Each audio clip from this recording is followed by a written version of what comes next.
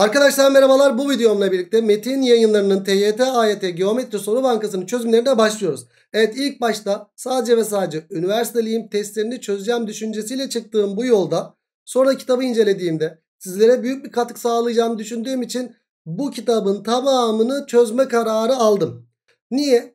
Öncelikle testler basamak basamak gerçekten güzel. Neler var bu testlerde?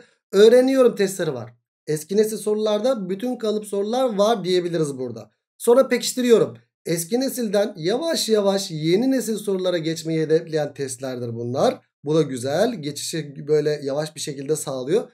Sonra üniversiteliyim testlerinde de tamamıyla yeni nesil dediğimiz ve çok güzel çok orijinal sorularla karşı karşıya kaldığınız testler bulunmakta arkadaşlar bu kitapta.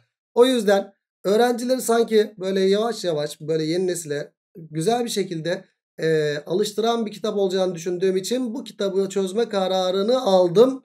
Valla ben çözerken mutlu olacağım. Sizler de büyük ihtimalle çözerken yine keyif alacağınız bir kitap. Ee, sizlerle de bunu da tanıştırmak istedim. Ya da elinde kitap bulunan arkadaşlar da bu konuda yardımcı olmak istedim. Uygulama çözümleri var ama bazı arkadaşlar ısrarla YouTube çözümleri de istiyor. YouTube çözümü daha fazla hoşuna gidiyor. Çünkü daha fazla detay veriliyor çünkü burada.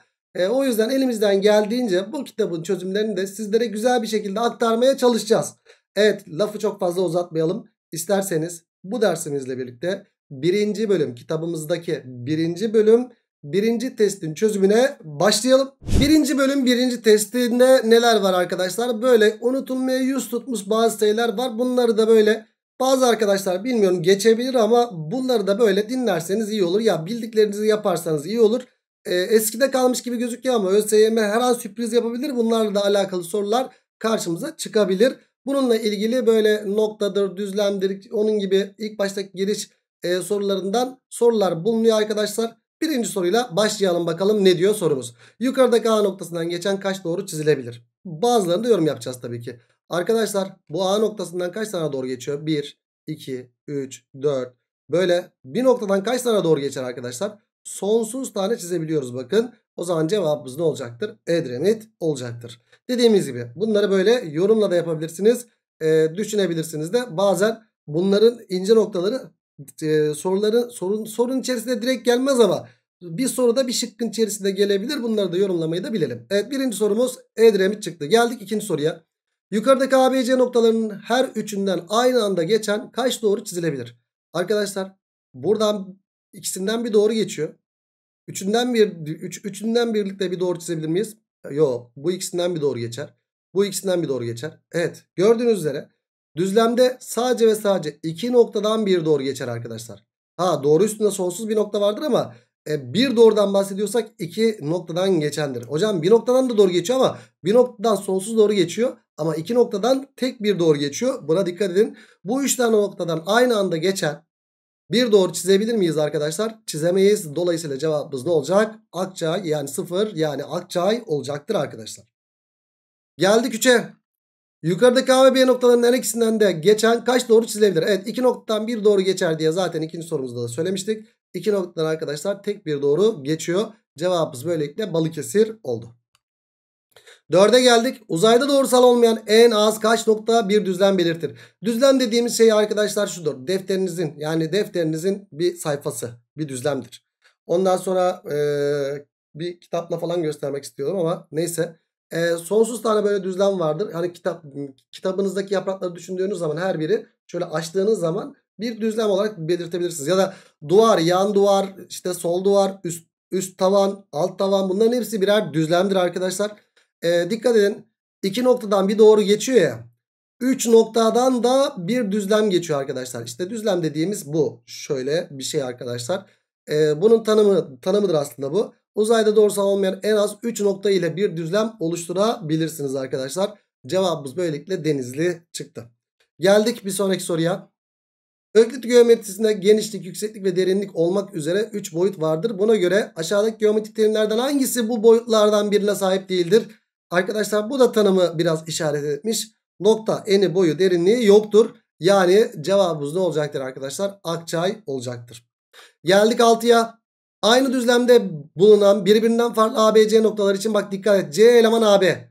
Arkadaşlar C eleman AB demiş olsaydı bak köşeli parantezler olmasaydı A ve B doğrularından geçen A ve B noktalarından geçen doğruyu çizip C noktasını 3 farklı yerde alabilirdiniz. 1. Şurada alabilirdiniz. AB doğrusu üzerinde oluyor. 2. ikisinin ortasında alabilirdiniz. 3. Sol tarafında alabilirdiniz. Ama ne demiş arkadaşlar bize? C eleman AB demiş. Yani A ve B'yi çiziyorum. A burada B burada. AB doğru parçasının içerisinde bir ne varmış arkadaşlar? C noktası varmış. Evet Ali Bey uzunluğu 3 tane Ali Bey uzunluğu 60 eşitmiş. O zaman Ali Bey uzunluğu kaç? 20. Şurası 20'yi yazalım. 4 tane BC'de 60 eşitmiş. BC uzunluğu da o zaman 4 tane BC 15 mi yapıyor arkadaşlar? Evet BC uzunluğu da 15. O zaman buraya kaç kaldı arkadaşlar? Tamamı 20 olduğundan buraya da 5 kaldı. Bizden AC uzunluğu isteniyor. Cevabımız böylelikle Balıkesir çıktı.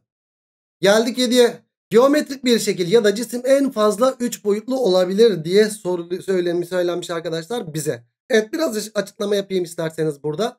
E, hocam bir boyutlu olan şey nedir? Mesela bir boyutlu olan şey hocam analitik düzlemde sadece x ekseninde yaptığımız şey bir boyutludur. Bak sadece x ekseninde ya da sadece y ekseninde yaptığımız. Hocam burası bir noktası. Burası iki sayı doğrusu. Sayı doğrusu bir boyutlu diyebiliriz. Sonra iki boyutlu olan şekiller vardır. İki boyutlu olan şekil nedir arkadaşlar?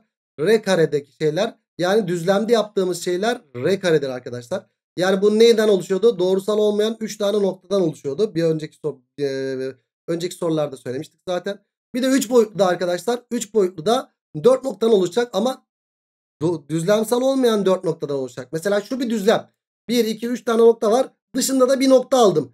Burada bir boşluk oluştu mu? Oluştu. İşte biz buna da ne diyoruz arkadaşlar? Reküp. Yani uzay adını veriyoruz arkadaşlar. Ee, haberiniz olsun. Şimdi buna göre diyor aşağıdakilerden hangisi doğrudur? Nokta eni boyu derinliği yoktu arkadaşlar. Bir boyutludur demiş. Noktanın bir boyutu yoktur. Bu bir yanlış ifade.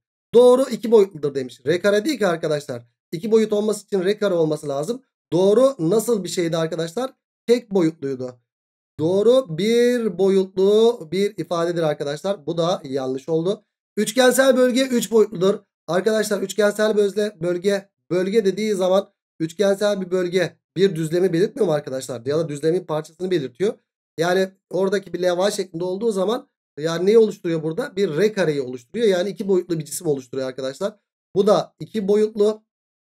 Ondan sonra öbürüne bakalım. Küp 3 boyutludur. Evet arkadaşlar küp 3 boyutlu. İçinde bulunduğunuz oda ya dikdörtgenler prizması da olabilir de küp 3 boyutlu e, doğrusal olmayan 3 nokta şeklinde tanımlanabiliyor arkadaşlar. Bunun da 3 boyutlu olduğunu biliyorsunuz. R küpte olduğunu biliyorsunuz.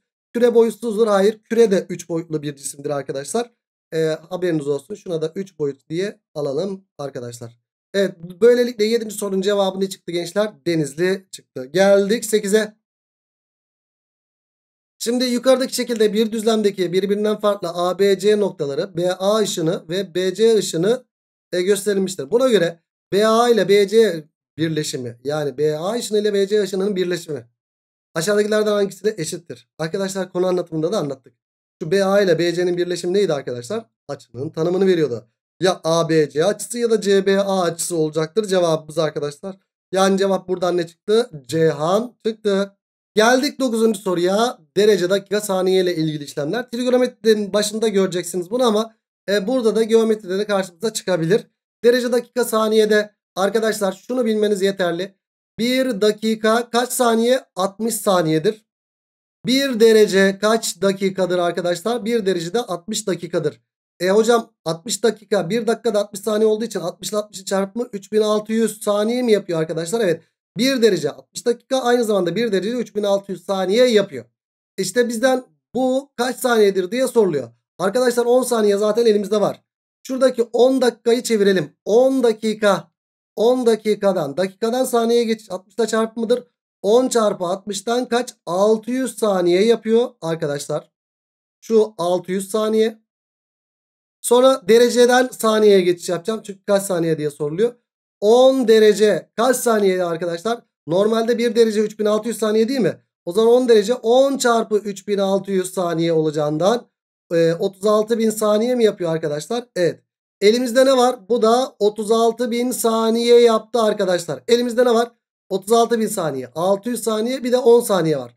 Yani sen 36.000 36.000 artı 600 değil mi?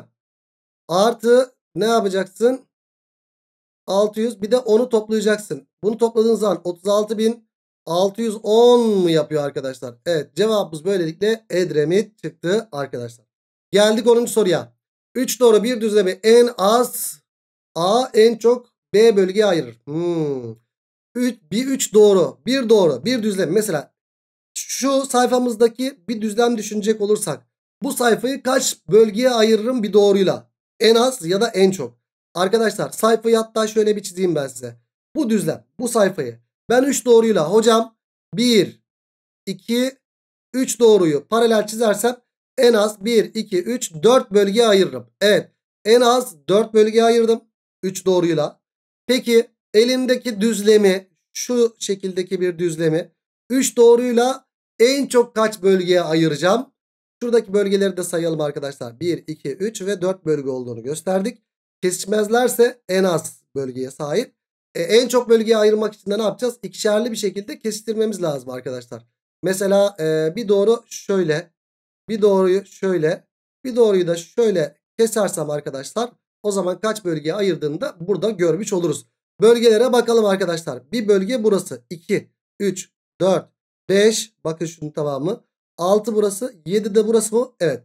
Bununla ilgili bazı kitaplarda formüller vardır ama formüle gerek kalacak şekilde ÖSYM bir soru sormaz. Evet 3 tane doğru bir düzlemi şöyle bir sayfayı mesela kaç bölgeye ayırdı arkadaşlar en fazla ikişerli bir şekilde kesiştirdiğimiz zaman görüyorsunuz arkadaşlar 7 bölgeye de ayırmış oldu. O zaman B'de kaç yaptı? 7 yaptı. Bizden 4 artı 7 isteniyor. Cevabımız da o zaman kaç oldu? 11 oldu. Yani 10. sorunun cevabı böylelikle Ceyhan çıktı. Geldik 11. soruya. Şekildeki AC ve BD doğrularını O noktasında kesmektedir. Buna göre aşağıdakilerden hangisi yanlıştır? AOC açısı. AOC açısı. Evet bir doğru açı olduğundan dolayı 180 derecedir. Doğru mu arkadaşlar? Doğru. AOB. AOB artı DOC. DOC. Arkadaşlar bunlar ters açılardır. Birbirine eşittir. Toplamları 180 derece demiş burada. Yanlış olan şık burası. Diğerlerini de göstereyim isterseniz. AOD. AOD açısıyla DOC açısı. BOC açısı pardon birbirine eşit demiş. Evet, ters açı olduğundan birbirine eşit doğru. Ee, AOB artı BOC. AOB artı BOC. Şu açıyla şu açının toplamı şu açıyla şu açının toplamına eşit demiş. Evet şu ikisinin toplamı 180 bu ikisinin toplamı da 180. Bu da doğru oldu. Şuna gelelim AOD ile DOC'nin toplamı. AOD ile DOC'nin toplamı. DOC'nin toplamı. Evet bu ikisinin toplamı doğru açı olduğundan 180 derecedir. Bu da doğru oldu arkadaşlar. Yanlış olan şıkkımız Balıkesir oldu. Geldik 12'ye. Evet 1000 saniyelik açı kaç derece kaç dakika kaç saniyedir? Bu sefer ne yapacağız arkadaşlar? Saniyelik bir şey verilmiş. Önce dereceye çevireceğim. Çünkü biz şunu öğrendik. 1 dakikanın kaç saniye olduğunu öğrendik. 60 saniye olduğunu öğrendik. 1 derecenin de 60 dakika olduğunu biliyoruz. 60 dakikada aynı zamanda 3600 saniye değil mi arkadaşlar? Evet. Öncelikle bunun kaç derece olduğunu bulalım. Artanlının kaç dakika olduğunu buluruz. Ondan sonra en son geriye kalan da artan saniye olacaktır arkadaşlar. Yani ben burada e, 10.000 saniyede 3600'ü bulacağım. 10.000 saniyenin içerisinde kaç tane 3600 var onu bulacağım. E ben o zaman 10.000'i kaça böleceğim? 3600'e böleceğim arkadaşlar. 2 desek 3 desek taşıyor. 2 desek kaç yapıyor? 7200 yapıyor arkadaşlar. Çıkarttığımız zaman 008 2800 mi yaptı arkadaşlar? Evet 2800 yaptı. E 10.000'in içerisinde 2 tane 3600 var. Bu ne demek? 2 derece var demek. Evet 2 dereceyi yazdık arkadaşlar. Geriye kalan bu saniyeydi arkadaşlar. Geriye kalan saniye. Geriye kalan 2800 saniye kaldı. Bu 2800 saniyenin içerisinde kaç tane dakika var? Yani kaç tane 60 var onu bulacağım. 60'a bölerek bulurum. E arkadaşlar 6 kere 4 25. Burası 6 kere 4 24. 240 yaptı. 0 0 4 400'ü de 60'a böldüğüm zaman e, 6 kere 5 6 kere 6 evet 6 kere 6 36 yani 360 yaptı. Geriye bu kaldı arkadaşlar. Evet 2800 saniyenin içerisinde 60 tane e, 60'a böldüğümüz zaman kaç? 46'dan 60 var demek. O zaman bu 46 dakika var demektir. E artan ne oldu? En son saniye olarak arttı. Artanı da en son buraya saniye olarak koyarız arkadaşlar. Yani cevabımız ne yaptı? 2 derece 46 dakika 40 saniye şeklinde yaptı arkadaşlar. 12. sorunun cevabı böylelikle denizli çıktı ve geldik 13. soruya. Tümler iki açıdan birinin ölçüsü. Tümler iki açı ne demekti arkadaşlar? Birbirini 90 dereceye tamamlayan açı. Tümler iki açıdan birine alfa dersek birinin ne olacaktır? 90 eksi alfa olacaktır. Tümler iki açıdan birinin ölçüsünün 3 katı diğerinin ölçüsünün 7 katına eşittir. Evet biri bu diğeri de bu olsun. Birinin ölçüsünün 3 katı yani 3 alfa eşittir. Diğerinin ölçüsünün 7 katı. Yani 7 çarpı 90 eksi alfa eşittir. Buradan 3 alfa eşittir. 7 kere e, 7 çarpı 90 diyelim. Eksi 7 alfa olsun burası. Eksi 7 alfayı öbür tarafa atınca artı, e, artı 7 alfa oldu. 10 alfa 7 çarpı 90 oldu arkadaşlar. 10'a böldüğümüz zaman da alfa da 7 çarpı 9 yaptı. 7 kere 9 da kaç yaptı? 63 yaptı. E, büyük olanın ölçüsü küçük olanın ölçüsünden kaç derece fazladır diye soruluyor. Evet. Alfayı kaç bulduk? 63 bulduk. Bu 90 eksi alfa ne yapıyor? 90'dan 63 çıkarttığımız zaman 27 yapıyor. Bize diyor ki büyük olan açı küçük olan açıdan kaç derece fazladır? Yani 63 eksi 27 soruluyor arkadaşlar. Bize 63'ten 27 çıkartınca böylelikle ne geliyor arkadaşlar? 63'ten 27 çıkartayım bakayım. 6 desek. Evet 6 oldu burası. Ee, burası da 36 mı oldu? Evet cevabımız böylelikle ne çıktı arkadaşlar? 36 çıktı. Yani cevap Ceyhan oldu. Ve böylelikle birinci bölüm birinci testi bitirmiş olduk. Öğreniyorum testlerinde. O zaman ne diyoruz? Bir sonraki videoda ikinci bölüm ikinci testinde görüşmek dileğiyle. Kendinize iyi bakın. Hoşçakalın.